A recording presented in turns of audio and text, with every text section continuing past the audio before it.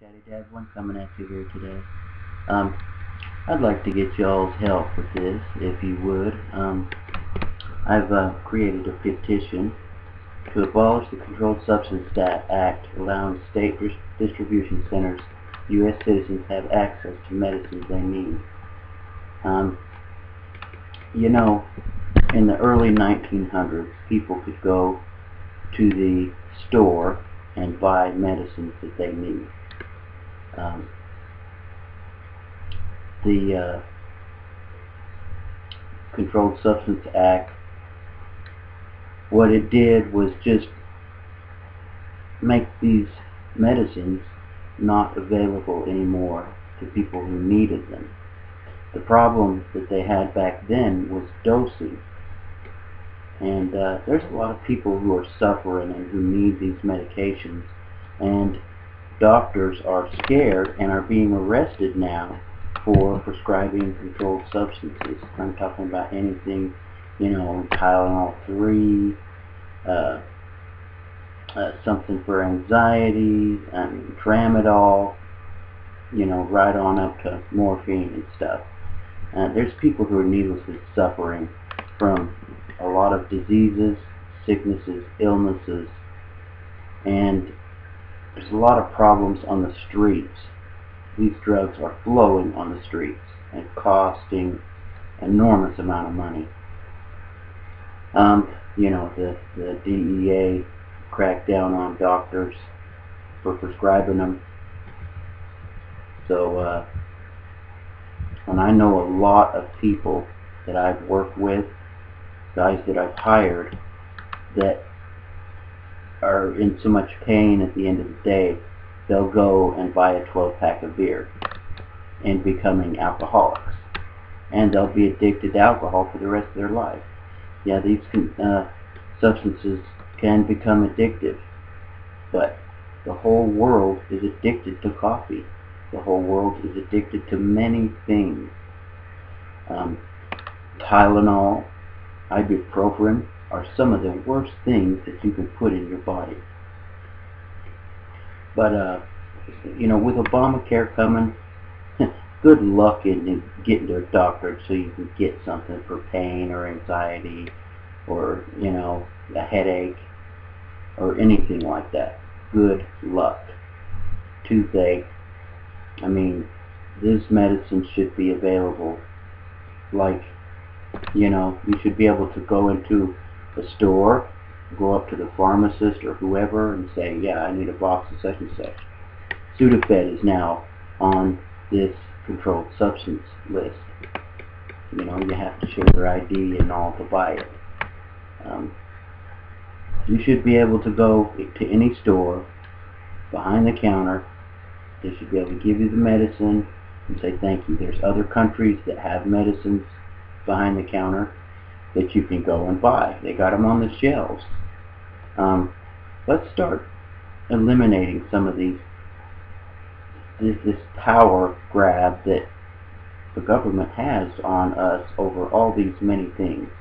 And uh, I'll encourage you to go and create a petition yourself and uh, you know and send it to me and, and I'll sign your petition. Um, let's think of some ways that we can start taking back control of our lives.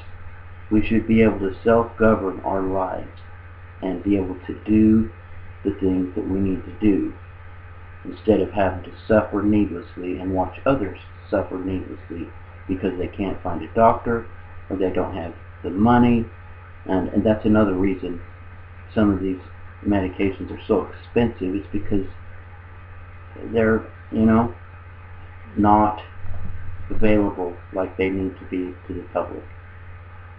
Um, anyways, if you would, please uh, share this with others.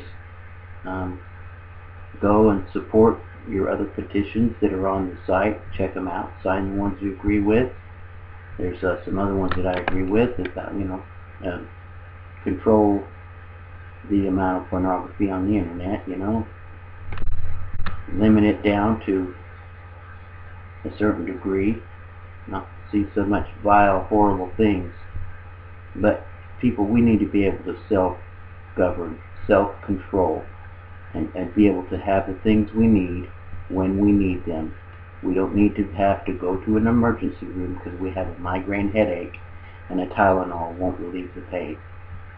Or if we're having an anxiety attack, have to go to an ER to get something for that. And then to be labeled a, a drug addict or whatever. People are going to get drugs, they're going to use drugs no matter what. Um, people are already smoking um, this fake synthetic pot. They're using bath salts because of this act. It's not allowing them to have the things that they need.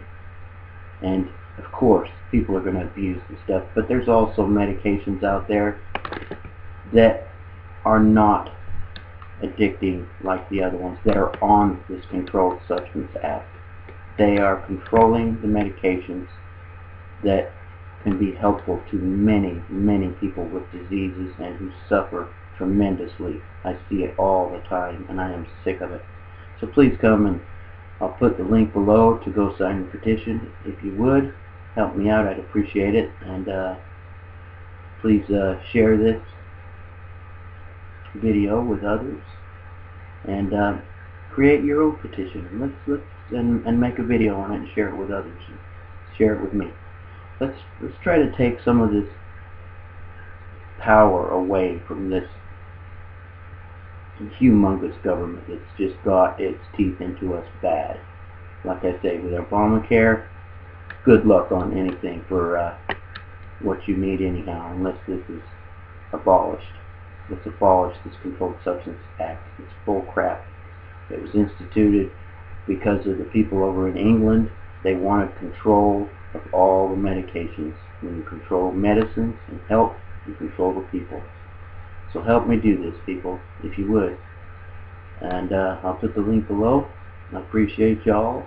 Um, hope everybody's doing good. Um, and uh, pray for the victims in Hurricane Sandy and all there, and, and they're suffering bad too, and it's a shame.